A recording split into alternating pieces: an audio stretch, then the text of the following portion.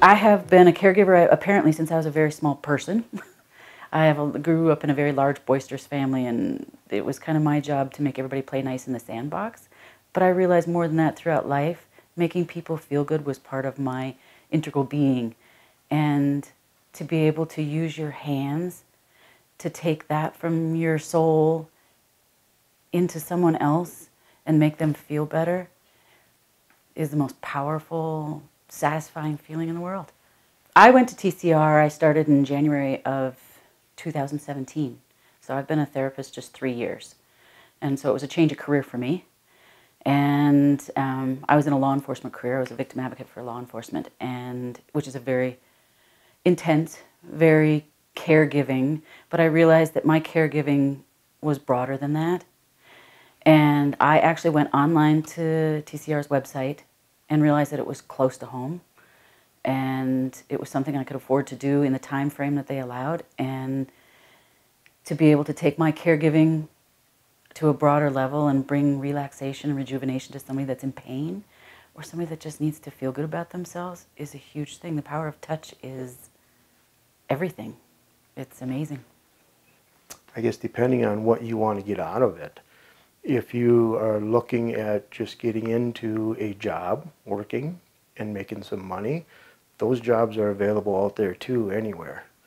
But if you're actually looking at helping people, doing the therapeutic end of the work, uh, that's where you need the really the empathy for it, for each individual client, listening, listening to them.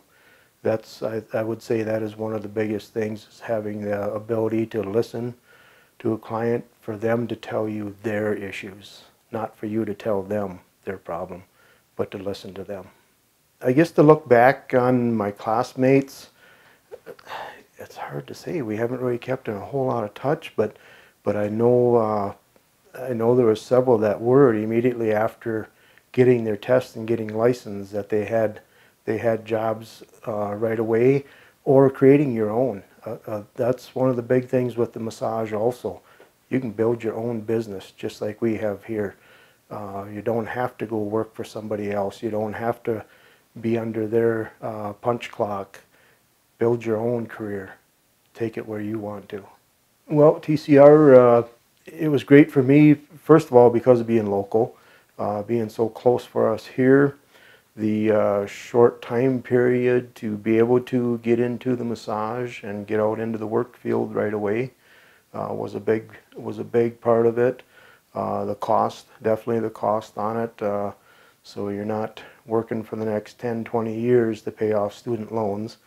TCR gave me this wonderful platform of knowledge and education and to take the part of me that that was good and to be able to put that into a package where I could actually deliver rejuvenation and health benefits and well-being to people was amazing. And it was energizing and it was freeing. And you know I could leave corporate and and politics behind. There's not there's no room for that in massage. It's just focusing on the person that you have on the table one person at a time. And if you can help one person in a day you've done a wonderful thing